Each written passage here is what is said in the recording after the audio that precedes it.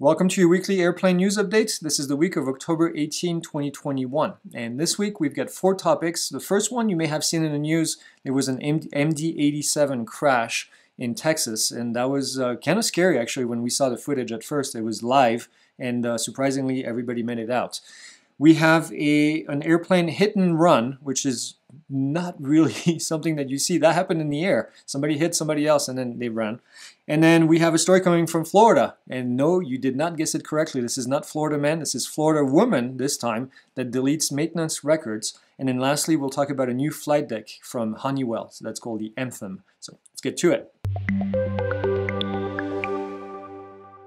First thing this week, in Texas, on Tuesday, there was a MD-87 crash. Um, at the end of the runway, looks like they never got off the ground, essentially hit the fence and stopped in the field, and then the aircraft caught on fire. There were 18 people on board, three crew members. Everybody was able to make it out alive, uh, which is amazing. Some minor injuries.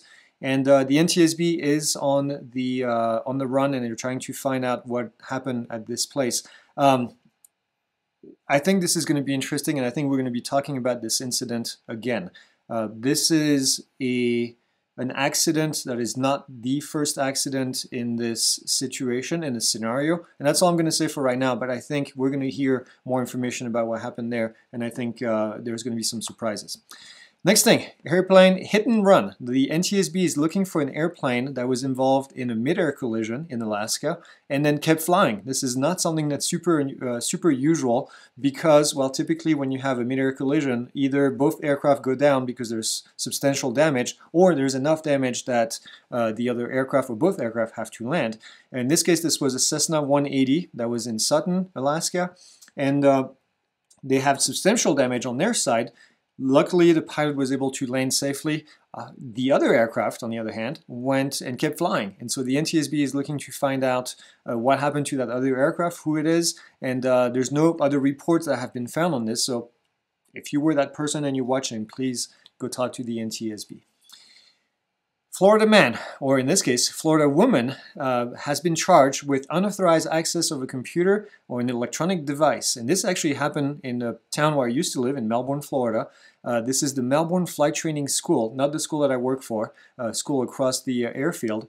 And this lady, Lauren Lide, She was uh, allegedly she tampered with some airworthiness maintenance records. Uh, she deleted information from ongoing maintenance issues and maintenance reminders that were on apparently the software for that school. Uh, the police was able to trace the access back to her father's side of things. Hampton Light. And um, she was fired from that flight school prior to all of this happening. And um, not sure what happened, why she decided to do this, but that's a big deal. Please don't delete maintenance records. Uh, this is uh, an issue for somebody coming next, flying that aircraft, and um, and that that can cost somebody's life. So not a good idea.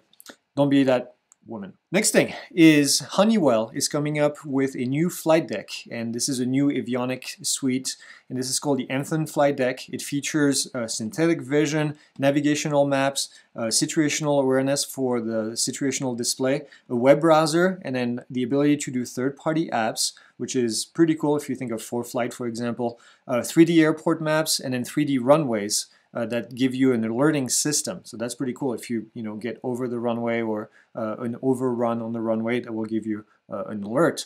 Uh, Honeywell said that this kind of uh, connected system can save up to 45 minutes of pre-flight, which is kind of amazing if you think about it. So um, they're going to include this on uh, all different types of aircraft. This is designed for a variety of different things from general aviation to large passenger aircraft or even business jets. So pretty cool. Last thing this week is a quick update from Pilot Institute. If you're one of the students in our private pilot course, we've made some updates. We've actually added a full explanation videos step by step on some of the more difficult questions.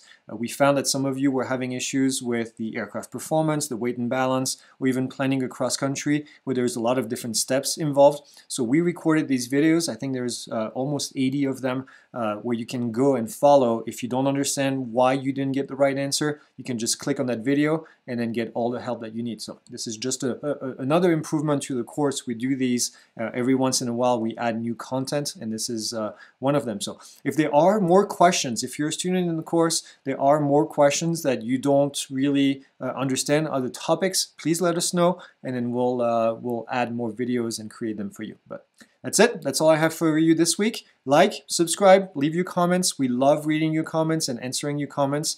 And uh, and if you're not a subscriber yet, we do this every single week. So make sure that you subscribe, and then you'll get notification. That's all I have. I'll see you guys next week.